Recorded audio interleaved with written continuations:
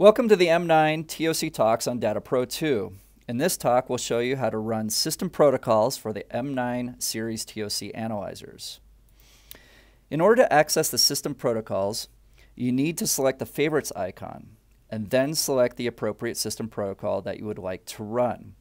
There are three types of protocols you can run, verification, validation, and calibration. For this example, let's select a 1 ppm single point calibration. Uh, when you double click your selection, Data Pro 2 will prompt you for the lot numbers of the standards used for the system protocol. After inputting the lot number, load the autosampler, and if you get confused with the vial order, uh, the results display can be a good reference point for you.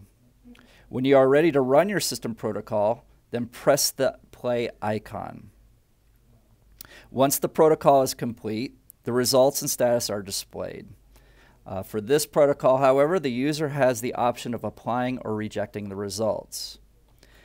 Data Pro 2 also has a feature called Stacked Protocols. Uh, this feature gives analysts the opportunity to automate a series of system protocols.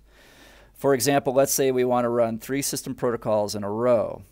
We can select from the menus and press the load button for our series. Data Pro 2 will then request the lot numbers for the series of protocols. Load the autosampler correctly, and then finally press the start icon. You can also view how long the stack protocol will take.